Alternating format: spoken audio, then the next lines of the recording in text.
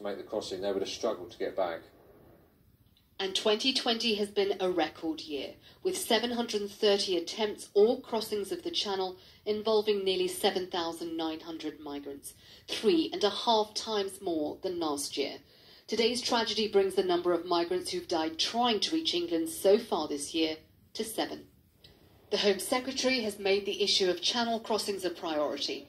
This afternoon, she tweeted she would do everything she could to stop callous criminals exploiting vulnerable people.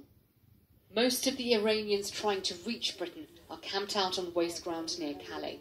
Many well educated from middle class backgrounds who've paid smugglers tens of thousands of pounds to get them this far. They say they are fleeing religious and political persecution. The UK says France is not doing enough to tackle the issue.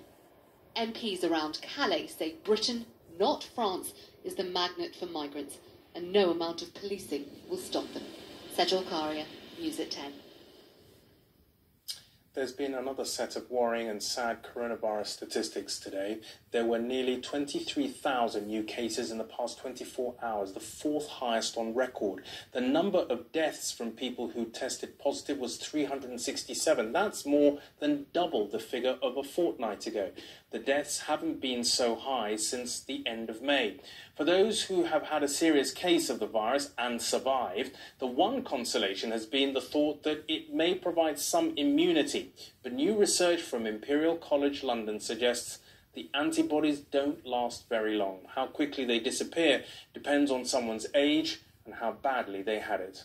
So we've now bought three and a half million antibody tests. That will allow people to see whether they have had the virus and are immune to it. They are positive. When they do come back, uh, they can be confident they will have some immunity. We need to have immunity to protect ourselves from this in the future. There's no doubt everyone hoped having coronavirus once would lead to some sort of immunity. We were even told it could mean going back to work.